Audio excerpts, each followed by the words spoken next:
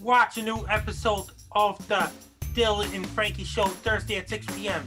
Jayce Bartok talks about how he got into the role of the Spider-Man movie. Later on, we chat with Jamie Renell, who talks about football.